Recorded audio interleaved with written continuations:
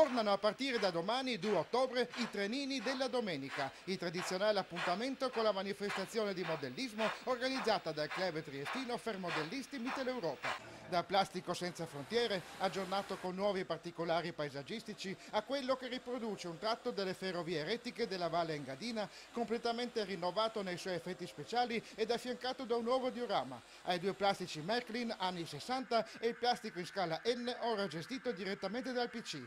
E ancora la ferrovia da Giardino in scala LGB, dove si vedranno circolare il tram di Opicina, con l'auspicio che quello vero torni presto in servizio, posto che il modellino rappresenta, ironia della sorte, proprio una delle due vetture incidentate, ed una riproduzione di un convoglio della ferrovia parenzana. Sui plastici tanti treni di varie epoche, riproduzioni uniche nel loro genere che accompagneranno il pubblico in un ideale percorso affascinante e divertente per i più piccoli, ma non solo.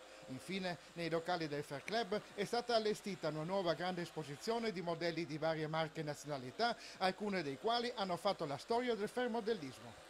Appuntamento quindi domani con orario dalle 10 alle 12.30 e poi la prima domenica di ogni mese, sempre con lo stesso orario, fino a maggio del prossimo anno nella consueta sede di Via dei Giardini 16 a Servola. Sono previste inoltre due aperture straordinarie, domenica 20 novembre e soprattutto domenica 18 dicembre, poco prima delle festività natalizie.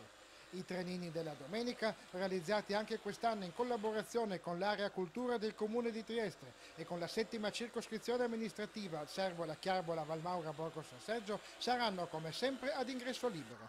Ulteriori informazioni sul sito web fairclub.eu.